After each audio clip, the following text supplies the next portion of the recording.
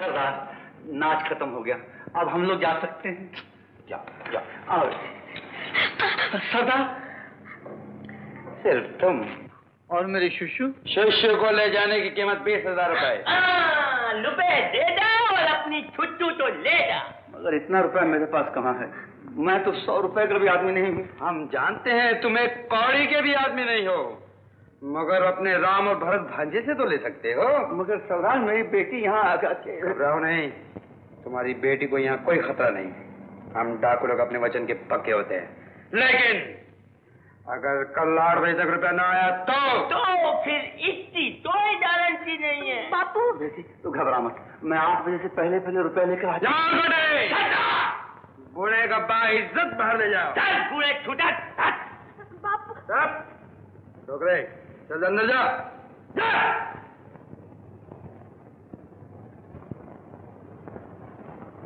एक ही शक्ल के दो आदमी आपको ज़रूर धोखा हुआ मामा जी ये नामुमकिन है। नहीं नहीं भांजे। मैंने अपनी नंगी आँखों से देखा है। उसकी दाढ़ी मूछ मुँह डालो तो बिल्कुल भरत जैसा लगेगा भरत जैसा। सच? हाँ।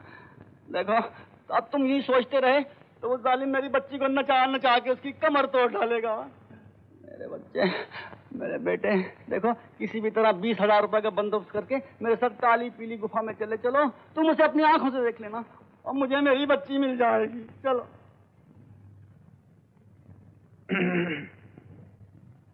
क्या बात है भाई साहब?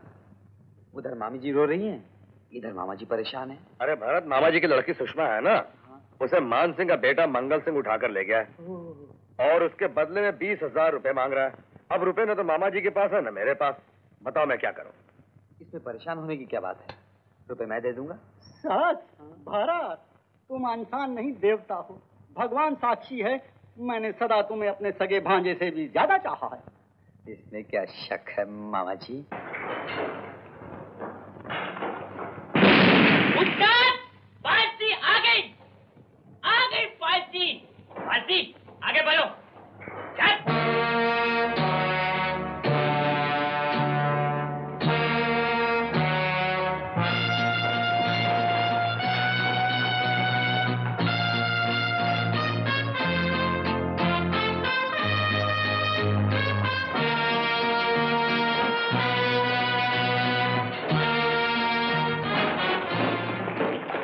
सरदार पूरे बीस हज़ार ले आया हूँ। तुम अपनी छोकरी को यहाँ से ले जा सकते हो।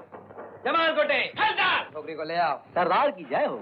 लेकिन हमारा पुराना दुश्मन ठाकुर राम सिंह यहाँ से नहीं जा सकता। हमें इससे हिसाब चुकाना है। मार दिया जाए या छोड़ दिया जाए। बोल तेरे साथ क्या सलू किया जाए हैं? नहीं नहीं सरदार ये तो तुम्हारी तरफ़ दुश्मनी का नहीं दोस्ती का हाथ बढ़ाना है। अरे है दुश्मन के साथ दोस्ती कैसे? बदले का ये मौका मैं कैसे छोड़ सकता हूँ? मुझे मारकर तुम्हें नुकसान होगा मंगल सिंह। इतने बड़े डाकू हो जरा अकल से काम लो। मेरे पास एक ऐसी तरकीब है जिससे तुम्हारा बदला भी पूरा हो जाएगा। और तुम्हें एक लाख रुपए भी मिल जाएँगे।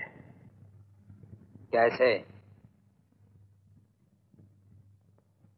देखो शायद तुम्हें मालूम नहीं कि तुम्हारी शक्ल मेरे छोटे भाई भरत से हु बहु मिलती है और भरत ही सारी जायदाद का मालिक है।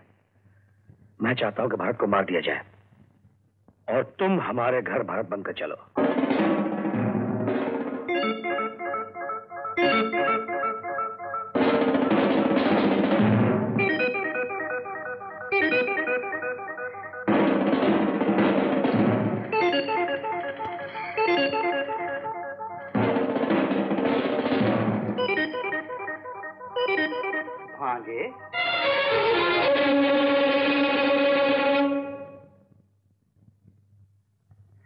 काम बहुत सोच समझ के करना। अगर जरा सी भूल हुई तो हथकड़ी लगी। मामा ऐसी पक्की स्कीम बनाई है कि कमबख्त सीधा नरक में जाएगा। हाँ हाँ हाँ इतनी नफरत नहीं। भरत आखिर तुम्हारा भाई है। बहुत प्यार से मारना उसे नहीं तो पाप लगेगा। जायदाद के लालची भाई को मारने में काहेगा पाप मामा पुण्य है। हाँ हाँ हाँ मेरा राम भांजा रावण का वध करने चला है। बेटा मैं तुम्हारी तस्वीर इतिहास में छपा दूँगा।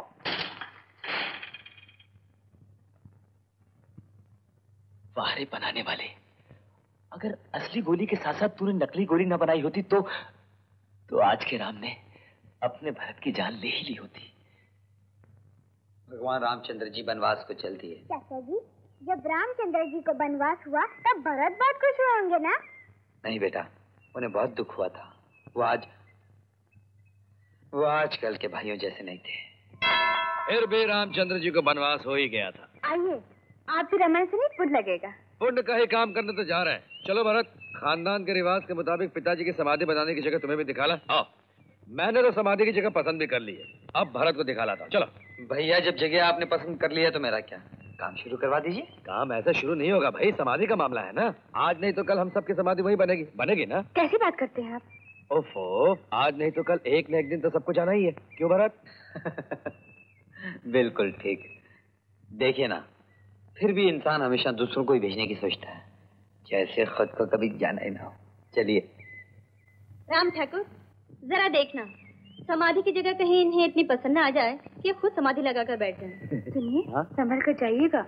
अरे मेरे होते हुए भरत को क्या डर? क्यों भरत? चलो।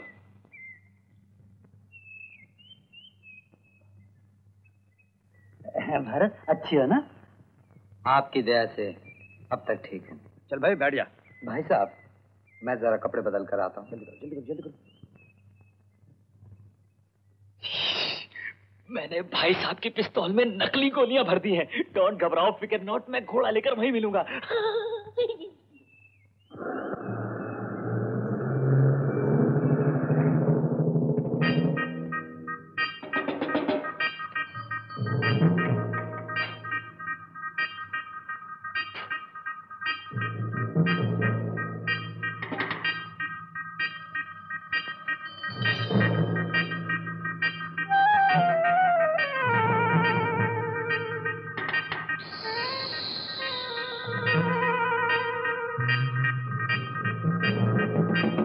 चलो भरत इस मोटर बोट में बैठ जाओ।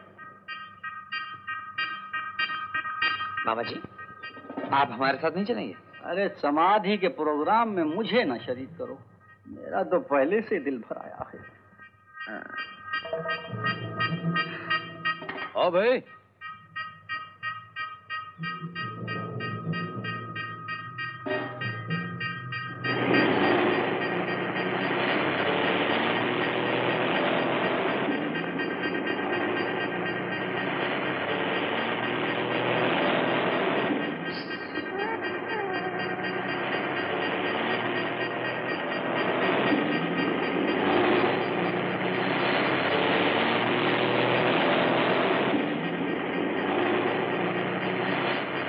भाई साहब। बोट क्यों रोक दी? भाई मुझे तुमसे कुछ ज़रूरी बातें करनी थी। इसलिए सोचा यहीं कर ले। ज़रूरी बातें? ये लो। इन कागजात पर दस्तखत कर दो। करो जल्दी। नहीं भाई साहब इन कागजात पर दस्तखत करना पिताजी की आत्मा को धोखा देना हो वाह भाई वाह। आज्ञाकारी बेटा हो तो ऐसा और बेईमान भाई हो तो ऐसा। आज तुम मेरे सगे भाई होते तो कभी इस तरह मेरे सामने जबान नहीं खोलते। सोतेला हूँ लेकिन सगे भाई से ज़्यादा इज़्ज़त करता हूँ आप। मुझे इज़्ज़त नहीं मुझे जायदाद चाहिए। देखो दस्तखत कर दो वरना तुम्हारी जल समाधि में यही बना डालूँगा। आप मज़ाक कर रहे हैं। मज़ाक? मैं मज़ाक नहीं कर रहा हूँ। आखिरी बार पूछ रहा हूँ दस्तखत करनी है या नहीं? वाह भाई वाह। भाई हो तो ऐसा। जो दौलत के नशे में अपने छोटे भाई का खून करने की भी सोच नहीं बकवास बंद। सीधे बोलो। हाँ या ना